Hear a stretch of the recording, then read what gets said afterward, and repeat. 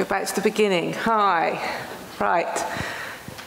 Okay, I'm coming from a slightly different angle, actually. Um, but that was very interesting, and, and we're going to be testing some knowledge of that last presentation with one of my slides is remarkably similar. Um, so I come from the field of global learning, global citizenship education. Um, until very recently, I worked on a very large government-funded program in the UK called the Global Learning Programme, where we had nearly 8,000 schools by the end of it engaged in some way in uh, global citizenship education. And if, as you can imagine, the last couple of years, the Sustainable Development Goals have become particularly popular within the global learning world. And I'm going to talk a little bit about some of that, some of the opportunities. Um, First of all, though, I want to start with a couple of pictures because the, the, the conversations about the way education, teacher training, the curriculum needs to be going, I think have uh, two big global issues at the background. Here's one, and here's another one. Okay. So put together, I think there's sort of two um, trends. The first one is, is obviously talking about the inevitable AI robot takeover. It's from a, a French photographer, Vincent Fournier, from his um, a series called Speculative Fictions where artificial creatures interact with humans. Um, I'm not such an expert about that, although I love to talk to people who know a little bit more than I do. The second one is the world and the doom and gloom scenario from climate change to um, some of the issues that are coming up here today. Um, and the calls both of these trends seem to be asking for a more critical global citizenship in schools. In particular, the first one's talking more about critical digital literacy, critical um, intelligence with the technology, um, and, and the second one, perhaps more critical global citizenship. And although they're not, these trends aren't massively talking to each other yet, they're both calling for a, a shift away from the three traditional pillars in education of um, arithmetic, reading and writing to have more empathy, creativity and critical thinking. Um, also problem solving, but I'm, I'm not so sure about that one. If, if we get time and questions, I'll, I'll, I'll talk more about why I've got some concerns with that both of them wrestle with all sorts of doom and gloom scenarios, and uh, this is very difficult to get into schools. It can seem very overwhelming and complex, and, and, and the task of getting global learning, critical global citizenship, and themes from the Sustainable Development Goals. It's a big one. It's a really tough one. Um, and I've been reading recently, and I, I, know it's been translated into many languages, Hans Rosling's uh, Factfulness. Has anyone heard of that? Factfulness? Hans Rosling? Hands up. Anyone heard of Hans Rosling? Oh, there's a few hands. Um, he, him and his, uh, he sadly passed away last year, but his son, uh, Ola, and uh, Ola's wife, Anna, have written this great book, Factfulness. And um, it's was derived from some research, 14 countries, about people's perspectives of the way the world is. Um, and I'm going to throw a few of the questions at you, and plus a couple of extras. We'll go very quickly because I know time is of the essence today. Um, here's the first one. In 1950, there were fewer than 1 billion children um, in the world. By 2000, there were almost 2 billion. How many do the UN experts think there'll be by 2100? Hands up A, 1 billion? Two billion? No one knows. There was like three billion? Okay, four billion? Yeah, most people answer three or four. It's actually two. We've reached the age of the peak child. Um, and uh, here's another one, the population distribution, which map best represents the way the world is. Um, is it the A, B, and C? Um, we haven't got too much time, so I'll go straight for the answer there. It is in fact B, which is often not, um, uh, people don't often come up with the right answer. Uh, Hans Rosling talks about the pin code of the world being 1114. Um, Average life expectancy, 50 years around the world, so average around the world, 50 years? Yeah, 60 years? Yeah, 70 years? Yeah, it's 70 years, and that's always underestimated too. You get where I'm going with this. Sort of world is not such a bad place. Um, uh, literacy rate, I might be going to catch you out in a minute. What's the literacy rate for adults in the world as a whole today? 80%, 60%, 40%, getting into the into the hands up thing now. It's 80%, it's better than we think. Uh, and because of the theme today, um, this wasn't one of the questions they asked, but which has the largest number of persons born in the country who now live outside its borders? Um, I'm not going to go through them. Anyone think they know the answer? Brave enough. No, it's India. And, and that, uh, the others are very high, but India is the highest. Um, and this came up uh, in Agnes's talk just now. In the UK, in uh, the world that we're in, the depression of Brexit, um, when asked to guess what percentage of people in the country were foreign born, the average person guessed, if you remember from what was uh, on the big range of statistics, do you remember? It was. That's what they guessed. But the reality, I think we must have different stats because the reality was nearer 13, but I think you had 8.4, so maybe there were different things on that one. But anyway, essentially, it's that perhaps the, the way we approach some of these issues has to be thought through carefully. that the media creates, as we know, stereotypes, and we need to find a way of challenging them with educators in partnership, in collaboration. And through some of the global learning work that I've been involved in, we often start with this great activity with teachers, community groups, students. What's the world like? Here's some images. Um, uh, top left one, I think, yeah, is the, is the refugee camp in Jordan that was in the first presentation. Uh, uh, what's the world like? We often start with NASA's iconic image in the middle and people throw words at it. And often they're quite negative. It's, it's big, it's dangerous. Uh, but then you get the opposites. It's getting, it's, um, getting more integrated. Um, And then we say, what skills, knowledge and values do we need young people to have to live in that world? And how are we currently meeting that need through schools, through education, through higher education at the moment? And what, what ways do we need to develop that? How do we need to get better? Um, we have some frameworks out there to play with. Uh, traditionally, um, a lot of schools I've worked with work with um, the United Nations Convention of, of the Rights of the Child, um, and obviously the United uh, Nations Declaration on Human Rights too.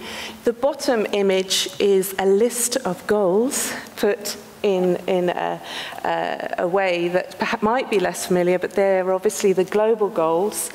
Um, and what's really interesting with these global goals and why we've begun to find that they have been a really useful tool for communicating global learning and the need for global citizenship is that they have been translated, I think marketing team got involved, um, into something that is more accessible internationally, globally, but also across curriculum subjects, across different interests. And actually, one of the organisations I've worked with over the last couple of years is the world's largest lesson. Hands up, anyone heard of the world's largest lesson? Yeah, linked to Project Everyone.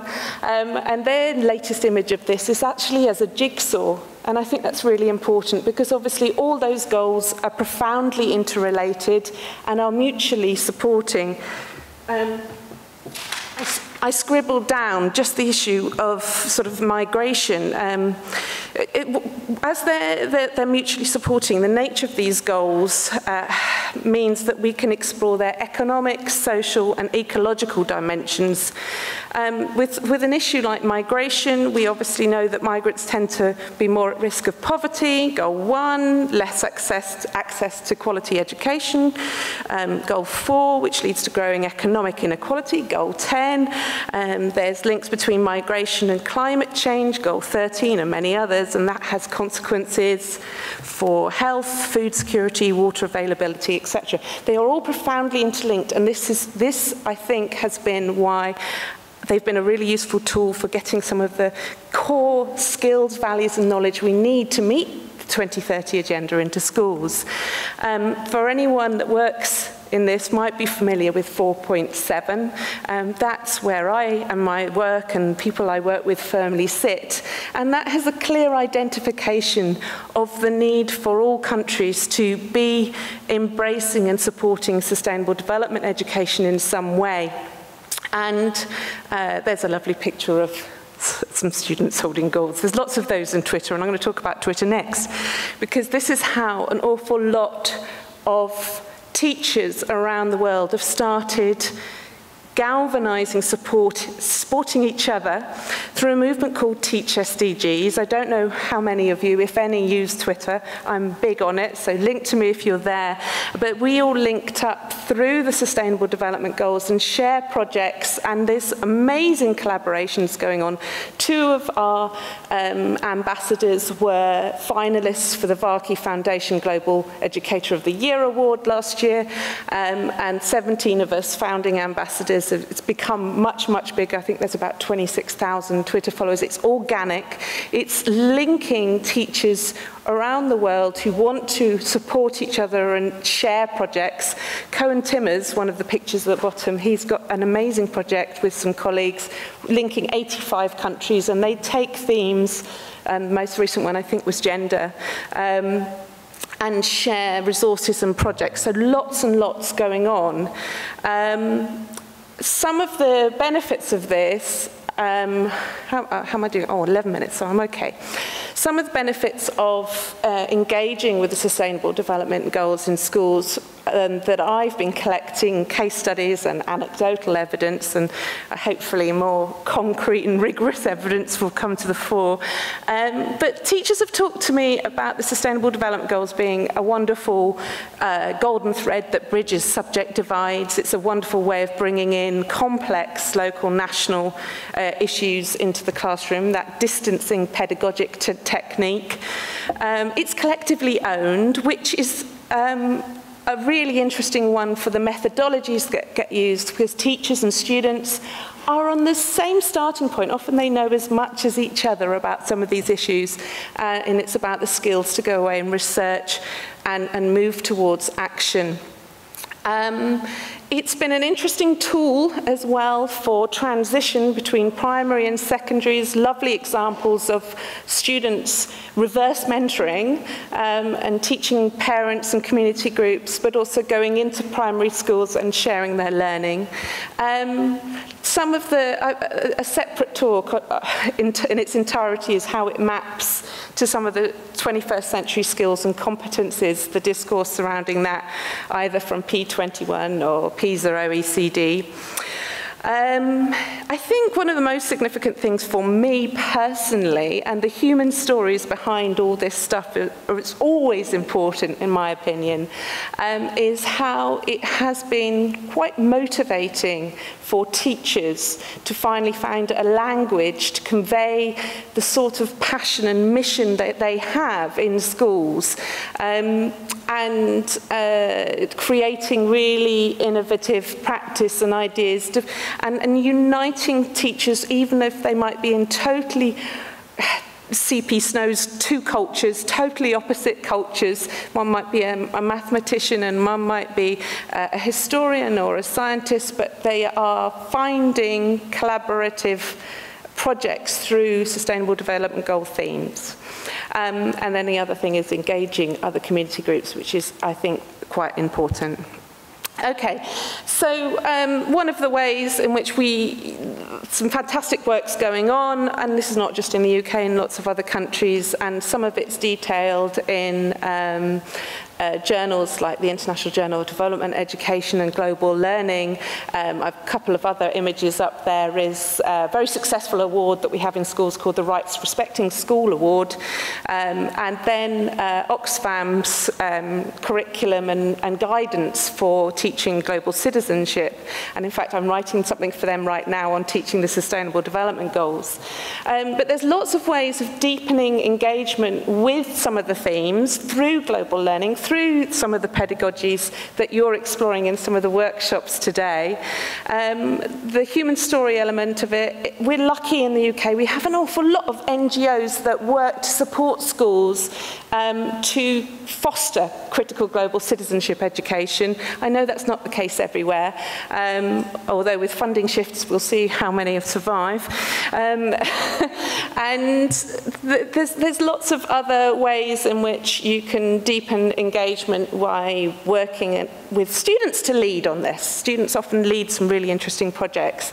And there's a little video there, if I'd have a time, of some, some student-led projects in a primary school in London. Um, but the important thing, obviously, is that we also convey that although this universal framework for action is very useful. It is not without its critics. It has an ideology, it has faults, it has critiques. And this is also where critical global citizenship education is useful because it's very much about being clear about different perspectives, partial truths. I've noticed that the OSDE um, methodology is, is, has, is something some of you are familiar with through the program, and that is linked to a critical approach to global learning. Um, I sometimes show this video, I won't now, but um, I recommend it. Um, Chimamanda Ngozi Adichie's talk on the dangers of the single story, because it's a beautiful articulation of um, how we have to find the alternative voices and the alternative narratives wherever possible. Um, if I could show it to you, I would.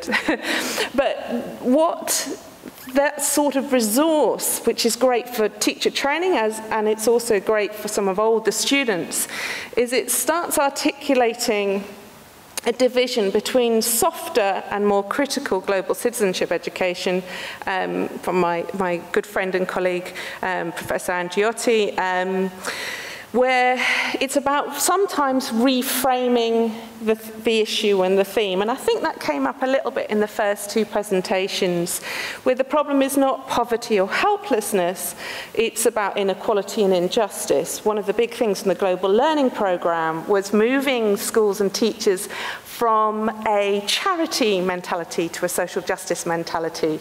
We have a big thing in, in UK schools. My kids regularly have to take in a pound for a charity event, but they don't know what the charity event is or the issue is because there's not time to go into it in more depth. Um, so the nature of the problem then is, is ref reframed with a more critical global learning approach, that it's not just about a lack of something, um, but it's about a complex system quite difficult to, to get that into primary schools, but it's possible. There's some fantastic stuff out there. Um, and that our basis for caring is not just that we're responsible, it's that we're responsible towards and that we need to learn critically. Another video, if I'd had time, we don't have time, do we? Uh, but uh, there, um, a video that is from um, Rusty Radiators Award, um, uh, Radiators for Norway, and it's a, a wonderful video of how we stereotype in some of our charity messaging and we need to be better at engaging with the truth. Um, have we got time for just two minutes for this? Yeah? I need to turn the volume up. How do I turn the volume up? Uh, go back to the beginning. Oh no, now we've gone backwards. Again. It's not, the volume's not doing that. Yeah, I can hear it, but not. Oh, it doesn't matter too much. It doesn't matter too much. Yeah. Um, but it's a critical approach, if you like, um, and they've, they have produced some great resources for, again, different ways of engaging with some of these themes um, and the danger of the stereotype and the danger of creating single stories um, because that's the methodology that I think supports um, engaging with the Sustainable Development Goals and would really better support themes like migration.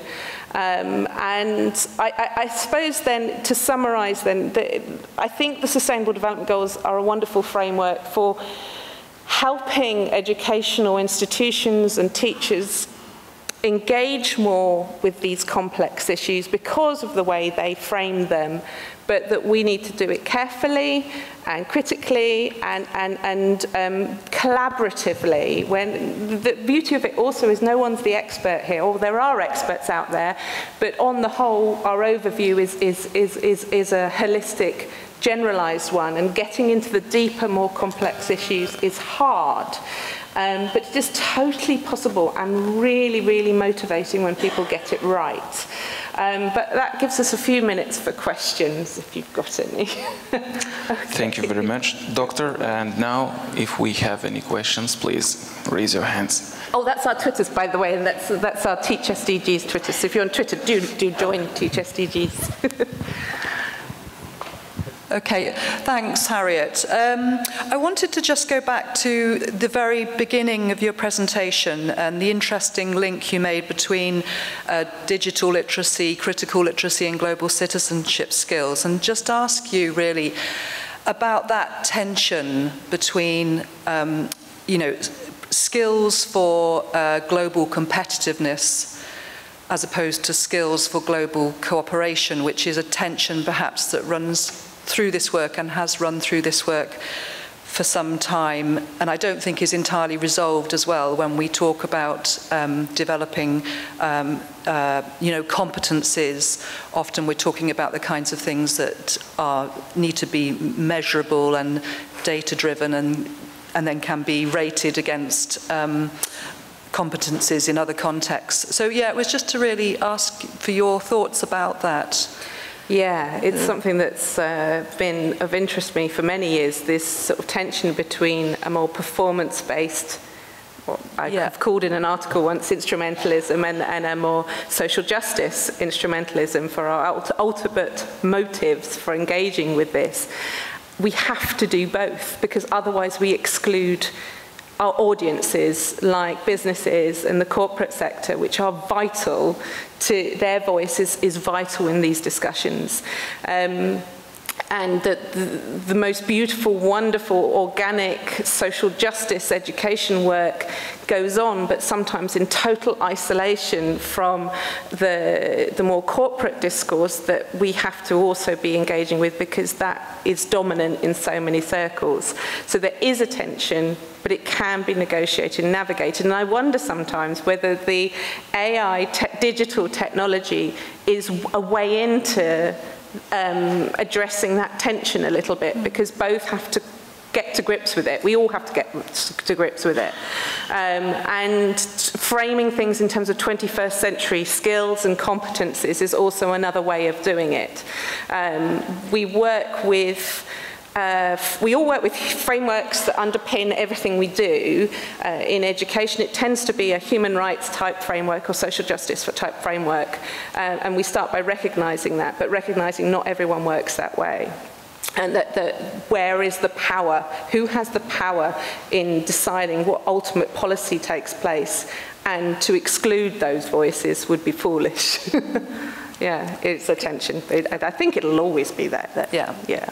Thank you. Shall I? Hello.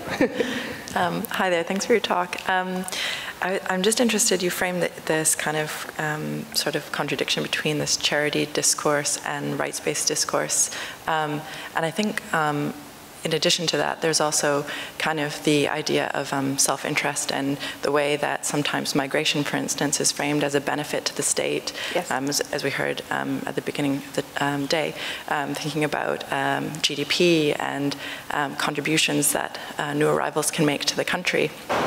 Um, and so I wonder how that pulls us away as well from rights-based discourses, um, the idea of just thinking about how um, these new arrivals can be really a boon to the state. Um, and it's difficult because when talking about migration, you want to debunk the idea that new arrivals are a drain on the state, um, but in focusing on kind of the benefits that they might bring in terms of GDP, I feel like it does take us away from the, the deeper questions around why migration must happen, needs to happen, needs to be pr protected. Yeah, I'm not sure I got an answer to that because I think you've sort of answered that, that, within your question. I, I think it's the the, the it's another tension, isn't it? Um, and the, I think we have to unpack the messages of of why migration is a good thing. Mm. And, and, and we can do that through critical global learning, I believe, by uh, supporting the, uh, the skills that are required to do that. And sometimes it's about reframing the question. And this isn't strictly answering this, but actually it's brought me to the point I made earlier about sometimes there's a call for lots of problem-based learning.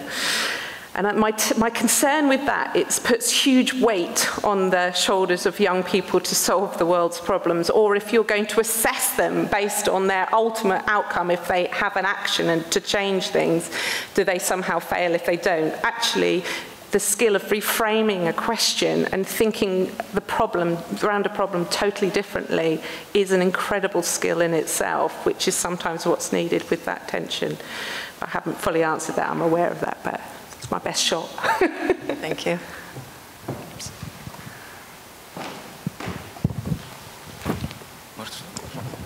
Any more questions?